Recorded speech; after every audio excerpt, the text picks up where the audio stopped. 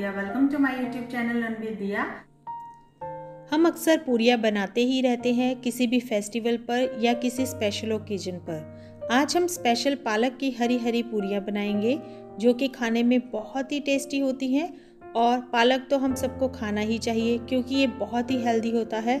बच्चों को तो पालक पूरी बनाकर ज़रूर खिलाइए।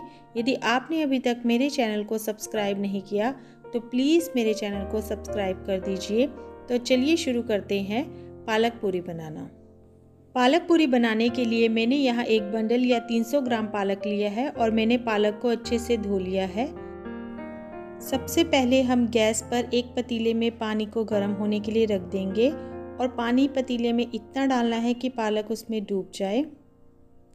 जैसे ही पानी में हल्का सा उबाल आ जाए तो आप इसमें पालक को डाल दीजिए और इसे अच्छे से डुबो देंगे। ताकि पालक थोड़ा सॉफ्ट हो जाए। बस इसे आप दो से तीन मिनट के लिए ही उबलने दें। लगभग तीन मिनट हो गए हैं। ये देखिए पालक सॉफ्ट हो गया है। अब हम गैस की फ्लेम को बंद कर देंगे और पालक को चिमटे की सहायता से ऐसे पकड़कर छलनी में डालते जाएँगे। ये देखिए, मैंने सारे पालक को छलनी में निकाल लिया है। अब इसे ठंडा होने देंगे। पालक के ठंडा होने पर हम इसे ग्राइंडर जार में डाल देंगे। अब हम इसमें डालेंगे तीन हरी मिर्च और थोड़ा सा अदरक, लगभग एक इंच का टुकड़ा। और बिना पानी के इसका एक फ़ाइन पेस्ट बना लेंगे। आप चाहे तो इसमें टू या थ्री टेबलस्पून पानी डाल सकते हैं। ये देखिए, मैंने इसे बिल्कुल ही बारीक पीस लिया है। ये देखिए कितना बढ़िया हरा हरा पालक पिसा है। अब एक प्रात में दो कटोरी गेहूँ का आटा लेंगे और इसे छलनी से छान लेंगे। अब हम इसमें आधा चम्मच या स्वादानुसार नमक डालेंगे, साथ ही हाफ़ टेबल स्पून अजवाइन डालेंगे। अजवाइन को ऐसे मसल कर डालें और मैं इसमें डाल रही हूँ हाफ़ टेबल स्पून तिल। सर्दियों में तिल खाना बहुत ही अच्छा होता है और इससे पूरी का टेस्ट भी बहुत ही अच्छा आता है। अब इन सबको मिक्स कर लेंगे। अब हम इसमें पालक के पेस्ट को डाल देते हैं और इसे अच्छे से मिक्स कर लें।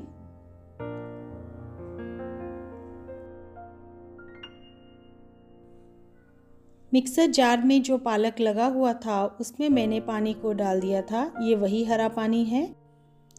यहाँ मैं आधे कप से भी कम पानी यूज़ कर रही हूँ। आप जितना पानी आटा गूंदने के लिए ज़रूरी होगा, उतना ही पानी आप इसमें ऐड कीजिएगा। अब इसमें थोड़ा थोड़ा पानी डालकर इसका एक डो तैयार कर लेंगे।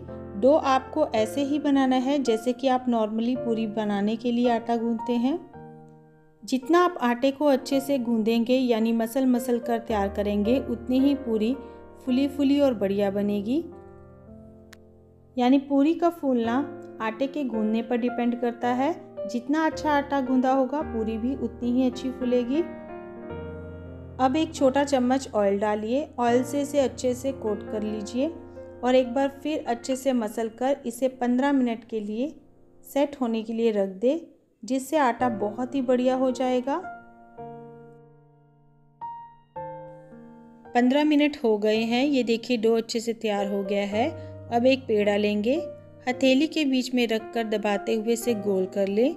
अब आप एक चकले पर थोड़ा ऑयल लगाकर इसे चिकना कर लें, जिससे कि पूरी चिपकेगी नहीं। आप बेलन पर भी थोड़ा ऑयल लगा लें। अब इसे हल्के हाथ से घुमाते हुए इस तरह से उठाएँ और फिर घुमाएँ। इस तरह से आप पूरी को हर तरफ़ से बराबर बेल लें। ये देखिए, मैंने पूरी को बेल लिया है। अब मैं आपको पूरी बेलने की मशीन से पूरी बनाना बताती हूँ। इस पर सबसे पहले ऑयल लगा ले, ऊपर की तरफ़ भी ऑयल लगा ले। अब एक पेड़े को इस तरह से रखिए और इसे इस तरह से प्रेस कर दीजिए। ये देखिए, इसे ऐसे प्रेस कर दीजिए। ये देखिए, पूरी बनकर तैयार है।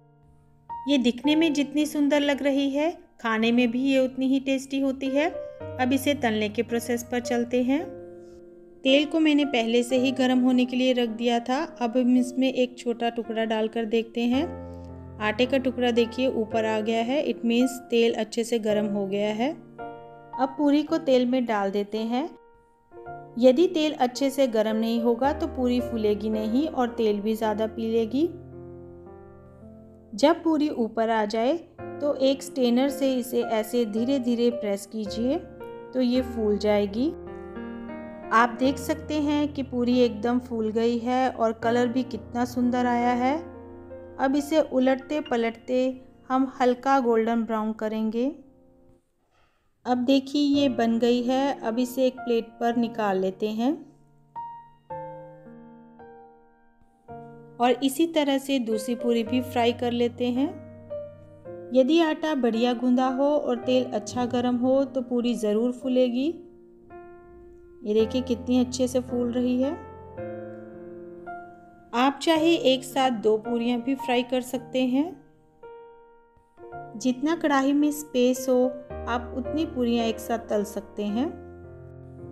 ये लीजिए हमारी गर्मा गर्म पूरियाँ बनकर तैयार हैं। फुली फुली और पालक की हरी पूरी आप भी बनाकर खाइए। और मुझे भी बताइए कि आपकी पालक की पूरी कैसी बनी। यदि आपको मेरी पालक पूरी रेसिपी पसंद आई हो तो प्लीज़ मेरी रेसिपी को लाइक करें और चैनल को सब्सक्राइब ज़रूर कर दीजिए। और मेरी आने वाली वीडियोस की नोटिफिकेशंस पाने के लिए बेल आइकन में ऑल पर क्लिक ज़रूर कर दीजिए। Thank you